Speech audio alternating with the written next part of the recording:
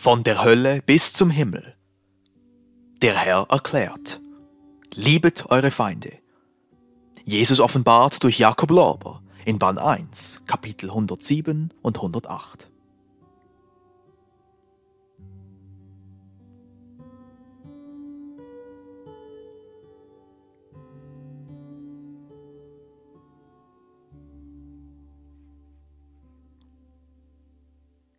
Kapitel 107 Herzensprobe in der Feindesliebe Rede ich, der Herr. Liebster Freund Bruno, siehe, du hast auf der Erde wohl recht oft und sehr gröblich gesündigt. Aber weil du so viel uneigennützigste Liebe gegen deine Brüder in deinem Herzen fassest, wird dir auch viel vergeben werden. Denn jedem Wohltäter an seinen Brüdern und Schwestern wird hier Barmherzigkeit zukommen, indem er selbst Barmherzigkeit ausgeübt hat. Und so denn auch dir deiner Brüder wegen und den Brüdern deinetwegen. Denn da steht einer für alle und alle für einen.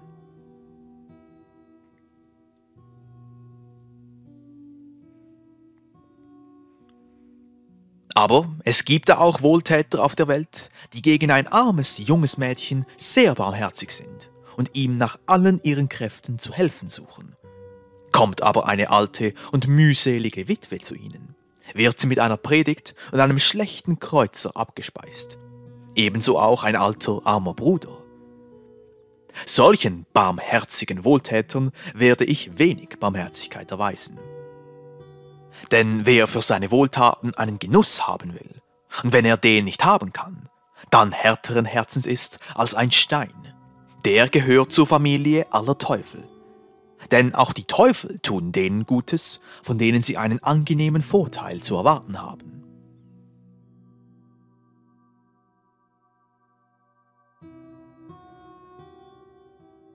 Du aber übst hier Barmherzigkeit aus, hinter der keine unlautere Absicht zu erschauen war, und sollst daher auch bei mir die höchste Erbarmung finden.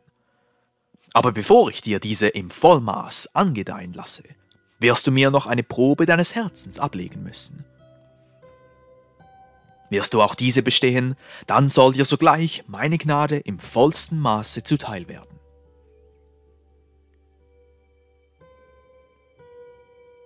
Da gegen Abend hin ersiehst du eine Tür, die halb geöffnet ist.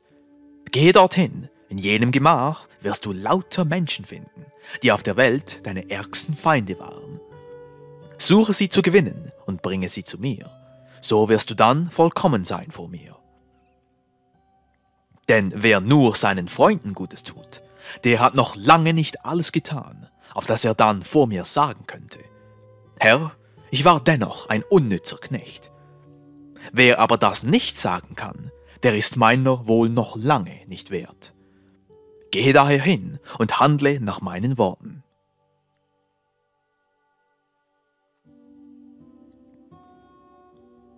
Spricht Bruno. O Herr, dein heiliger Wille geschehe. Dein Wille ist mein Leben, mein Heil und meine höchste Wonne. Oh, wie süß ist es, zu handeln im Hause des ewigen, allmächtigen Vaters. Oh, ihr meine Feinde alle, ihr Brüder, die ihr in mir einen Bruder, der euch liebte, hart verkannt habt. Im Namen meines Gottes, Herrn und Vaters, komme ich zu euch, um euch zu segnen und Gutes zu tun und dadurch auch für ewig zu vergessen jede Unbill, die ihr mir je erwiesen habt. Oh, Wonne erfüllt nun mein Herz, dass ich jetzt stark genug findet, sich vor seinen hochmütigen und selbstsüchtigen Verächtern zu demütigen. Dunkel ahne ich nun, was dein heiliges Vaterherz damals im Angesicht deiner argen Feinde muss empfunden haben, als du ihn dir zum Vater riefst. Vater, vergib ihnen, denn sie wissen nicht, was sie tun. O heilige, endlose Größe, deren nur ein Gottesherz fähig ist. Wahrlich, es ist schön, ja erhebend, so ein Bruder dem Bruder hilft, ohne je an ein Entgelt zu denken. Aber höheres und größeres fasst kein Himmel, als zu segnen, die uns fluchen, und wohl zu tun denen, die uns gehasst, verachtet und verfolgt haben.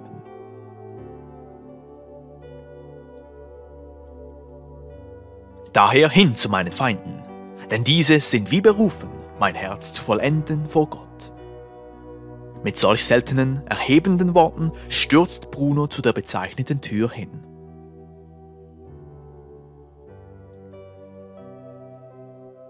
Kapitel 108 Der Liebesheld von Feinden umringt. Christi Liebe überwindet alles.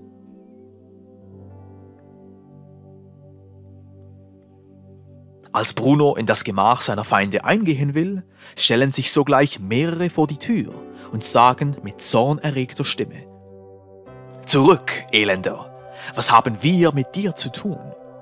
Warst uns doch stets widerwärtiger als der Tod und ein Gegenstand unseres Hasses und tiefster Verachtung. Was sollen wir nun mit dir hier in der Hölle? Zu allen Teufeln mit dir, du elendste Menschenbestie.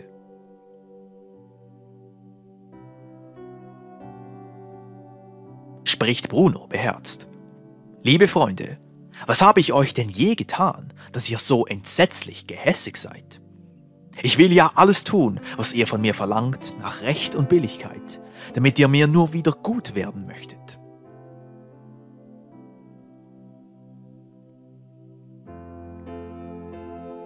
Schreien die Wüteriche in der Tür.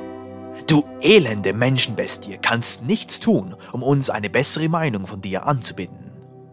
Wir brauchen nichts von dir, als dass du uns verlässt. Deine Gestalt widert uns mehr als die unterste Hölle an. Und so weiche gutwillig von uns, sonst zerreißen wir dich in Stücke.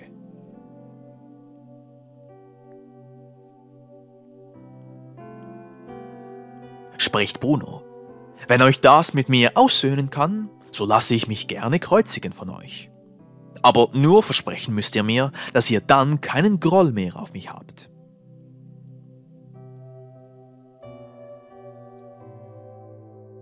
Sprechen die Wüteriche. Glaubst du denn, dass uns das zur Ehre gereichen würde? Wir und dich kreuzigen? Das wäre doch eine barste Schande für uns. Höchstens dich niederschlagen, wie einen schäbigsten Hund. Das könnten wir dir anstandshalber tun, wenn wir gerade gut gelaunt wären aber mit dir uns eine größere Mühe zu nehmen, wäre wahrlich lächerlich von uns. Fahre daher ab und ärgere uns nicht länger durch deine scheußliche Gegenwart.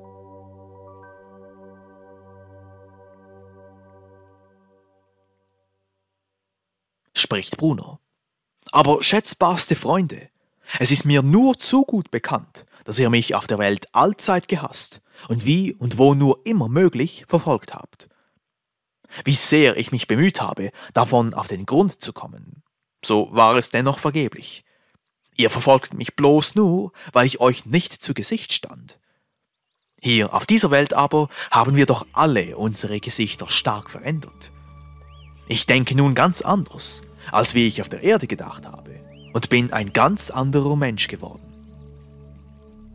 Dasselbe dürfte denn doch auch mit euch der Fall sein.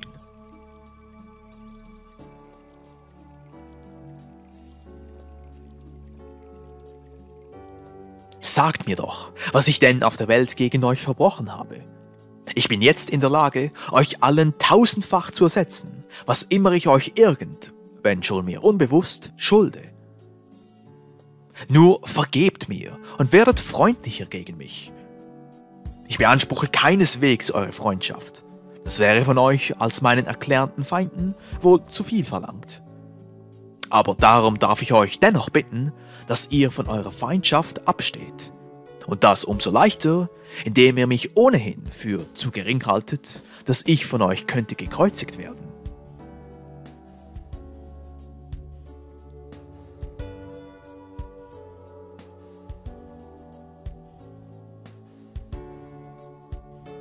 Sprechen die Wüteriche. Was nützt da dein Reden und dummes Protzmaulen? Du bist einmal ein Saukerl und bleibst es in alle Ewigkeit. Ins Gesicht tust du, als wärst du der rarste und biederste Mensch. Hinterdrein aber bist du dann ein Luder und dir ist niemals zu trauen. Weißt du, wie du mit uns auf der Börse gehandelt hast? Du sahst ein fortwährendes Sinken, schrecktest uns die Aktien heraus und kauftest sie dann selbst. O Lump, stelle dich nur nicht so unschuldig. Wir kennen dich. Fallen etwa auch hier die Kurse, weil du nun gar so sehr unsere Freundschaft suchst?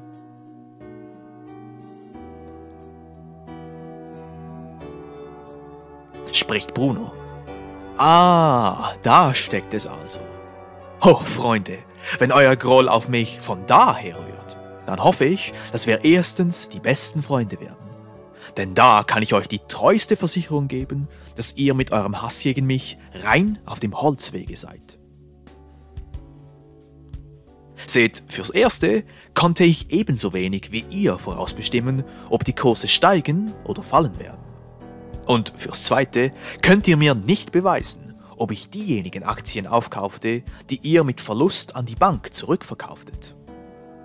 Seht, wie seicht euer Groll auf mich basiert ist. Habe ich euch doch nie weder zum Kauf noch zum Verkauf genötigt. Wer aber müßigte euch, eure Papiere beim niedersten Kursstande zu verkaufen und beim höheren zu kaufen? Ich sicher nicht und tausend andere auch nicht. Ihr waret selbst so töricht, aber euch selbst wolltet ihr eine solche Dummheit nicht zuschieben. Hättet ihr an euch selbst eine derbe Spekulationssünde begangen, so wälztet ihr die Schuld auf den nächsten Besten, der in seiner Spekulation klüger war als ihr. Lasset euch nicht auslachen. Was konnten mich eure und euch meine Papiere genieren? Ich kaufte, ihr auch, so es euch rätlich dünkte. Oder ihr verkauftet und ich kaufte. Das ist doch etwas ganz Natürliches. Woher dann euer Groll auf mich? Falsche Gerüchte aber habe ich nie ausgestreut und mich auch nie einer Illusionslaterne bedient.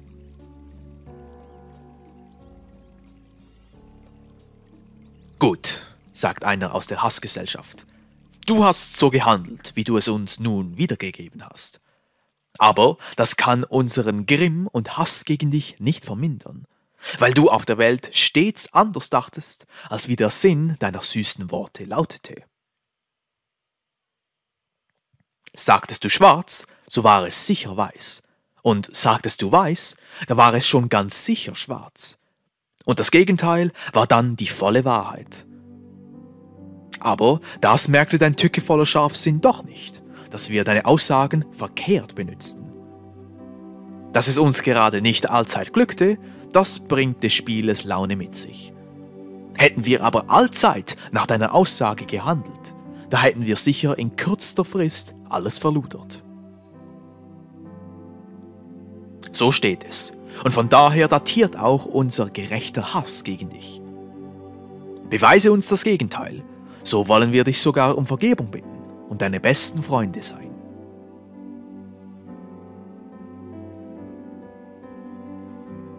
Spricht Bruno. Gut, ich nehme euch beim Wort. Beantwortet mir einige Fragen. Nummer 1. War ich auf der Börse mehr als ihr? Etwa ein Direktor, Buchhalter, Sekretär, irgendein Rechtskonsulent oder sonst etwas dergleichen? Sagen die Groller. Nein, du warst wie wir, bloß nur ein Interessent.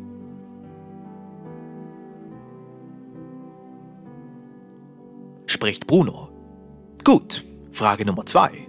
Wer auf der Börse ist denn eigentlich in alle finanziellen Geheimnisse eingeweiht? Antwort, die Bank und die Börsenamtsleute. Gut. Frage Nummer 3. Werden die vielen Börseninteressenten von den unterrichteten Amtsleitern wohl allzeit mit der Wahrheit abgefertigt? Antwort, nein. Wenn etwas schief geht, so erfährt man schon gar nie die Wahrheit. Gut. Frage Nummer 4. Wie und wodurch hätte denn da ich zur Wahrheit gelangen sollen? Antwort. Oh, gar leicht. Auf dem Wege der Bestechung kann ein Lump hinter so manches kommen, was einem ehrlichen Kerl verborgen bleibt.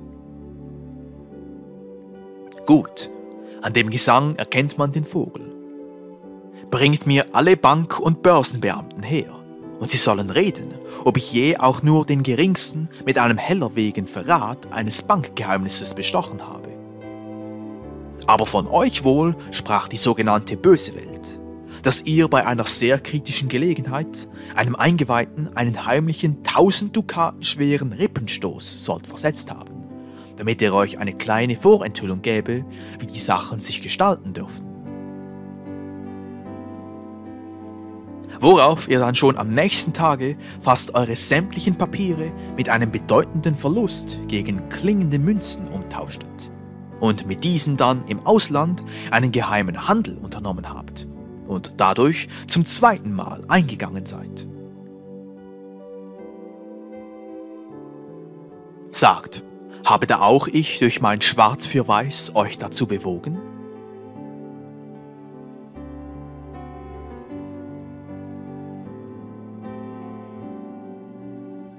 Hier stutzen die Groller und wissen nicht, was sie darauf erwidern sollen.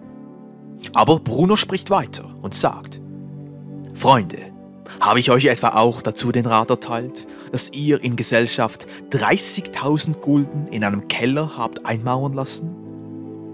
Als aber dann in Wien das Standrecht publiziert wurde und bei Hausuntersuchungen die Soldaten die hohlklingende Mauerstelle aufbrachen und den für sie erfreulichen Fund bis auf den letzten Groschen in sicheren Empfang nahmen. Ich meine, dazu hat wohl mein Schwarz für Weiß keinen Beitrag gemacht. Ihr wart, kurz gesagt, allzeit selbst schuld an euren Verlusten und meint höchst irrig, ich sei in eure Spekulationsgeheimnisse eingeweiht gewesen und habe an euch einen Verräter gemacht. Wie aber wäre so etwas möglich, da ich außer auf der Börse euch nie mit meiner Gegenwart belästigt habe? Ich trage an eurem Unglück nicht die geringste Schuld. Dessen könnet ihr völlig versichert sein. Gott ist mein Zeuge. Meint ihr aber noch, dass ich euch unglücklich gemacht? So beweiset es mir vor Gott, und ich will alles tun, um meine Schuld an euch hundertfach abzubüßen.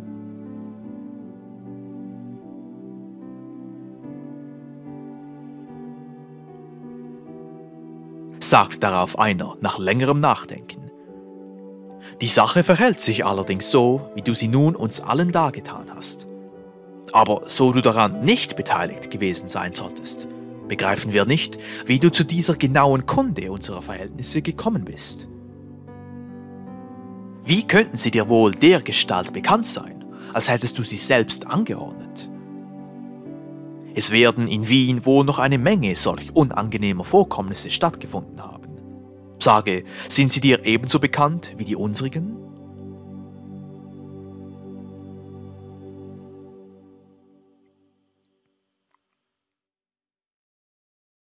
Spricht Bruno. Alle sicher nicht, aber gewiss viele. Wusstet ihr doch auch alle Zeit, wer vom Gericht eingezogen wurde und warum ohne darum Denunzianten an den Gerichtsbeteiligten zu sein. Warum soll dann ich es nicht auch in Erfahrung gebracht haben können, wie es euch ergangen ist in der Zeit der Trübsal, da ihr mir doch von der Börse aus wohl bekannt wart? Erweist es mir, dass derjenige, der wie zufällig vom Unglück seiner Bekannten Kunde erhält, auch an diesem Schuld haben müsse zeigt mir, in welchem Gesetz das als ein schuldhaftes Verbrechen aufgeführt ist.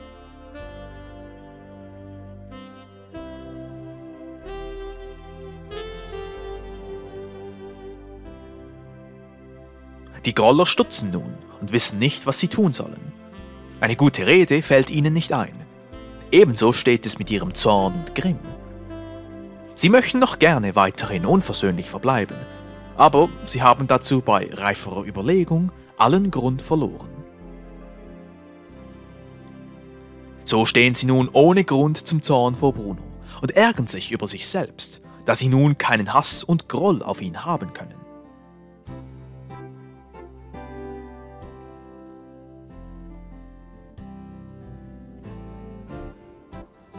Nach einer ziemlichen Weile tritt einer hervor und spricht. Dumm ist das, dass wir dir nun nichts Vernünftiges mehr entgegenstellen können. Wie gerne hätten wir dich doch durchgeprügelt, wenn wir dir nur wenigstens eine scheinbare Schuld hätten andichten können. Aber du bist zu gescheit, dass man dir nicht an den Leib kommen kann. Und so müssen wir dir obendrauf noch sogar Freunde werden. Aber was willst du denn nun ferneres noch mit uns tun?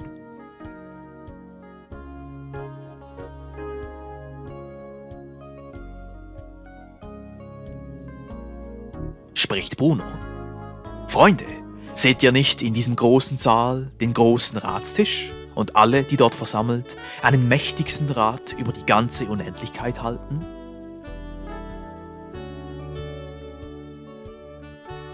Spricht der Redner. Wir sehen keinen Saal und keinen Ratstisch, nur diese wahrhaftige Kneipe, die voll Dunkelheit ist, sehen wir. Und dich auch. Ob sie aber irgendeinen Ausgang hat, wissen wir nicht. Was aber willst du mit deiner unsinnigen Frage?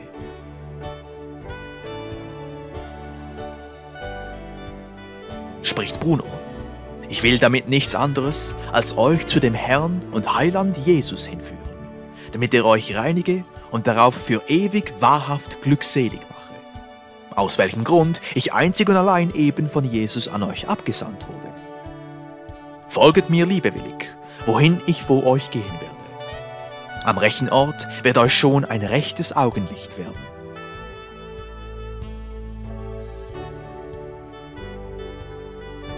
Spricht der Redner.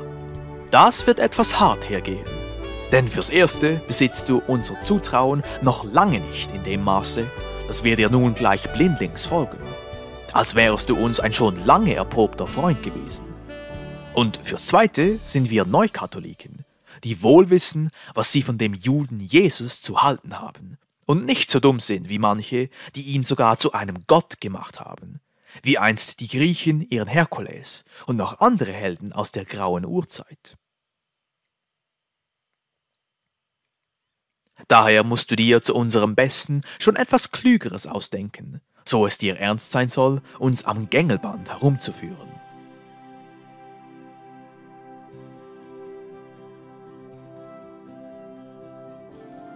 Spricht Bruno. Freunde, der römisch-katholische Glaube ist zwar wohl albern und seicht in vielen Stücken, aber der neukatholische ist noch tausendmal dümmer. Leugnet er nicht das Leben der Seele nach des Leibes Tod?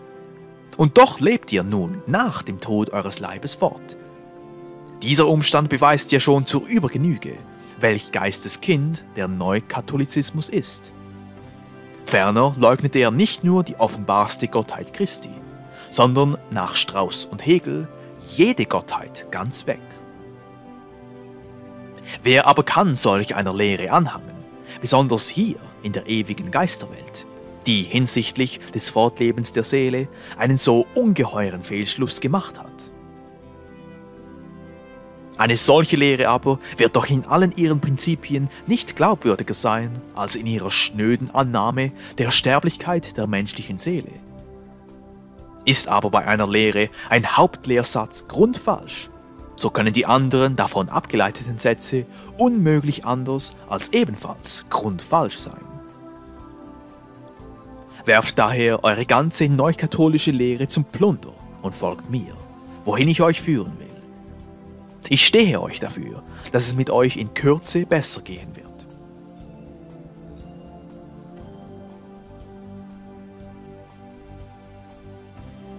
Spricht der Redner. Freund, du bist ein verteufelt gescheiter Kerl. Man muss dir recht geben, will man oder will man nicht. Es tut mir nun von Herzen leid, dass wir dir früher so hart und beleidigend entgegengekommen sind. Aber ich hoffe, du wirst uns das wohl vergeben können. Bedenke, wie in Wien alles, Pfaff und Beamte, so bestellt war, die arme Menschheit in des Geistes dickste Nacht zu versenken und sie einzuschläfern. Unter solchen allen geisttötenden Umständen war es ja unmöglich, sich in ein reineres Wissen emporzuschwingen. Wie wir aber erzogen wurden, so sind wir auch jetzt noch, nämlich blind, taub und stumm an Seele und Geist. Habe daher Nachsicht und Geduld mit uns und führe uns denn in Gottes Namen irgendwo hin, wo wir etwas mehr Licht bekommen werden als jetzt.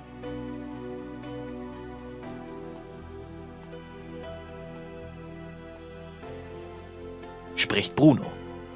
Ganz wohl und gut. Dass ich mit dem geduldigsten Herzen zu euch hergekommen bin, brauche ich euch hoffentlich nicht mehr zu beweisen.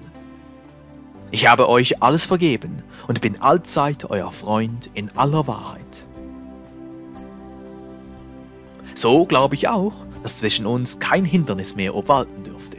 jenen Weg einzuschlagen, auf dem es allein möglich ist, hier in dieser Welt sich für ewig in einen Lebenszustand zu versetzen, in welchem dem Bedürfnis der Seele und des Geistes gemäß möglichst selig zu bestehen ist. Fasst so nach Mut und einen festen Willen und folgt mir. Alles Übrige aber erwartet getrost von dem, der allein helfen kann und auch euch sicher helfen wird. Nicht umsonst hat er mich an euch abgesandt. So viel eure auch sind, folgt mir alle, und es soll euch allen geholfen werden.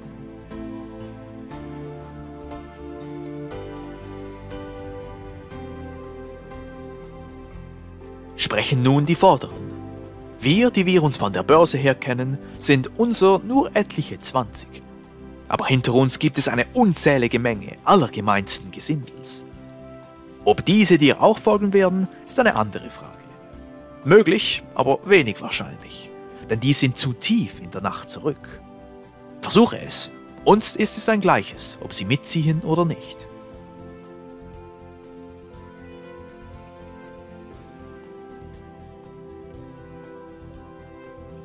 Sagen die vielen Hintergründler. Gar so dumm, wie die Herren da vorne meinen, sind wir nicht. Daher werden wir auch so frei sein, euch als eine wahre Tausendgesellschaft zu begleiten. Denn der euch helfen wird, der wird sicher auch uns nicht zur Tür hinausweisen. Also denn, auf gut Glück, zur Ehre Gottes aufgebrochen.